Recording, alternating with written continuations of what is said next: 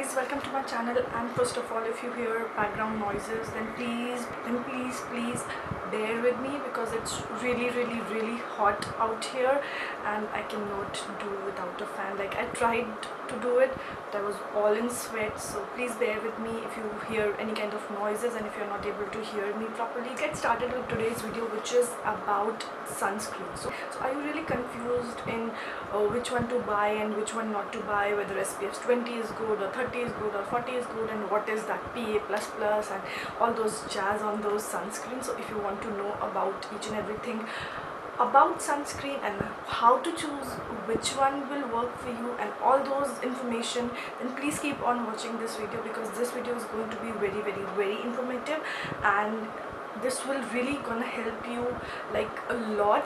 And I would also suggest please share this video with your friends and everybody so that they can also get this information and they can do a better buy when they buy a sunscreen because you know sunscreen is the most important um, part of your uh, skincare regime. So you have to take care of that. And so yeah let's get started in getting to know your sunscreen a bit more better. So I have used a ton of sunscreen. Like I still have this VLCC sunblock lotion anti-tan and this Sara Herbals Photoderma SPF 50 plus. And then finally that the one that I use currently is this Neutrogena Ultra Sheer Dry Touch Sunblock so um, I first bought this small little bottle and I did a review on this one as well. I've done a couple of sunscreen videos uh, but this one is not about a specific sunscreen. It's about how to choose a sunscreen and what does all how to read the labels on a sunscreen basically. So I bought this sunscreen. I'm pretty much happy with the way it works. And pretty much happy with um, the the entire thing about it. So i'm not suggesting you to buy this. Buy the sunscreen that suits you suits your skin.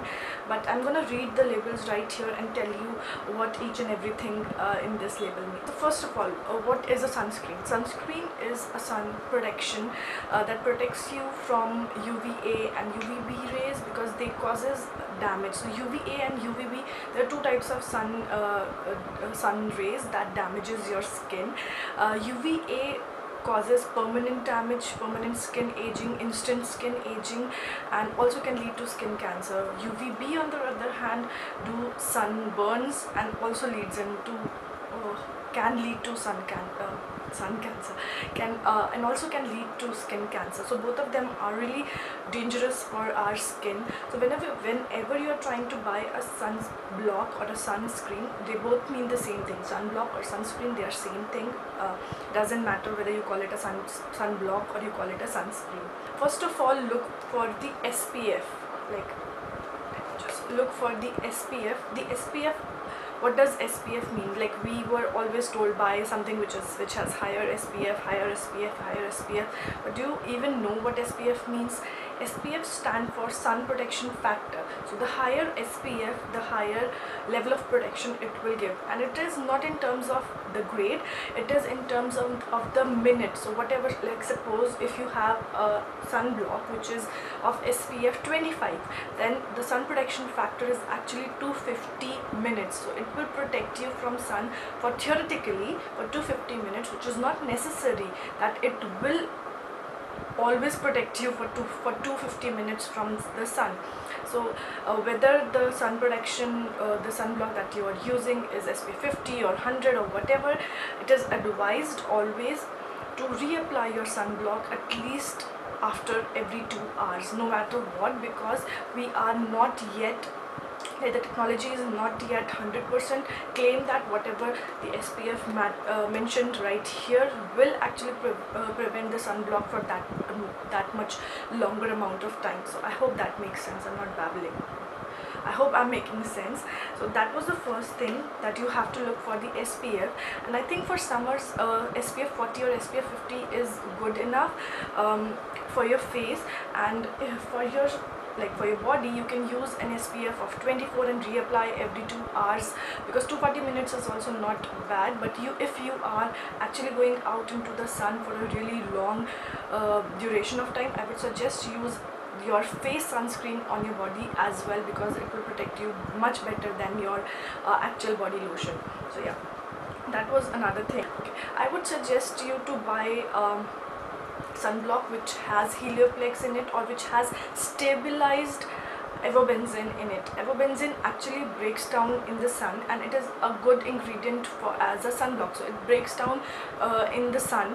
It's better to buy a stabilized avobenzene or a, a sunblock which has helioplex in it. Then the next thing that you look on your sunscreen bottle is this PA sign it's it's sometimes it's PA plus PA plus plus or PA plus plus plus. It's nothing but it's a Japanese gradation system for sunblock. So it defines a protection guard that a sunblock will give you uh, from the UVA rays specifically from the UVA rays. Whether or not the bottle specifies it's a broad spectrum sunblock you always have to look whether the PA is defined properly or not. So if it is PA plus it will give you medium coverage like medium protection. If it be it's if it's PA plus plus it will give you a better protection. And if it is PA plus plus plus it will give you like the best protection from the UVA rays so look for the UPA plus plus plus sign on your sunblock as well. Then your sunblock should be water resistant or sweat resistant. It will last a bit longer than your normal sunblock. That's another thing that you must look for in your sunblock. Okay so that was all the labels that you have on your uh, sunblock that you must identify and then buy a sunblock. Now let's move on to how to apply and uh, some like tips on applying your sunblock. Yeah if that makes sense. Okay. So uh, whenever you're applying your sunblock make sure you're applying it at least 10 to 15 minutes when you're walking out of your house or when you're exposed to sun so that it takes time.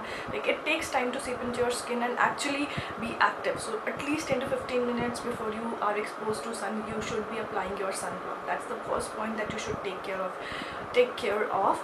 Number two is always reapply your sunscreen no matter what the SPF is at least every two hours. Because we are still not uh, we are still not confirmed on the on the duration the sunblock will give you protection so it's better to reapply your sunblock every two hours. Number three if it is spf 50 it will give you protection for 500 minutes only.